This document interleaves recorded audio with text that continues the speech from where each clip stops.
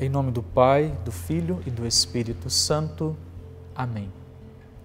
As multidões que iam na frente de Jesus e os que seguiam gritavam: Hosana ao filho de Davi. Bendito que vem em nome do Senhor. Hosana no mais alto dos céus. Quando Jesus entrou em Jerusalém, a cidade inteira se agitou e diziam: Quem é este homem?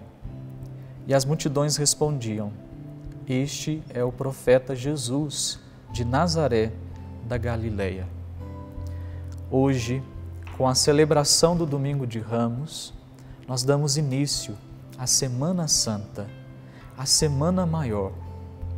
E a Semana Santa começa justamente com a lembrança da entrada triunfal de Jesus em Jerusalém. Jesus que sempre se opunha a qualquer manifestação pública, que fugia quando o povo queria aclamá-lo como rei, agora permite ser reconhecido como um Messias, como um rei salvador. Ele é rei, porém um rei como nunca se havia visto. Um rei humilde, um rei sem carruagem, que chega montado num jumentinho, um rei que terá como trono o lenho da cruz, um rei que escolhe o último dos lugares, o lugar que ninguém quer. Ele é aclamado por Osana ao filho de Davi, e tudo isso causa uma grande agitação. Em toda a cidade de Jerusalém, as pessoas perguntavam: quem é este homem? Com certeza, os moradores ali de Jerusalém, confusos com toda aquela movimentação, não tinham a clareza da grandeza do reinado de Cristo. Muitos de nós ainda hoje não temos essa clareza, não compreendemos a grandeza do seu reinado.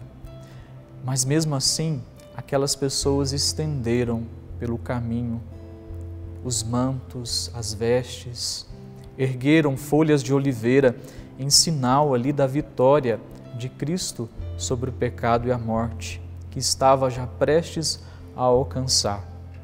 Por isso, meus irmãos, a celebração de hoje nos convida a já contemplarmos a glória do Senhor, a glória deste Rei humilde, esse Rei que tem como o seu trono a cruz.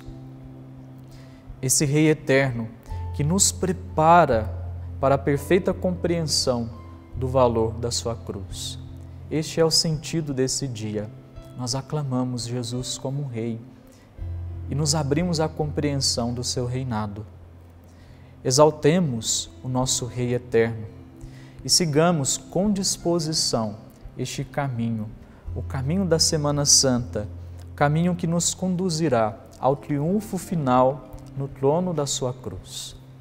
Desça sobre você a bênção do Deus Todo-Poderoso, Pai, Filho e Espírito Santo. Amém.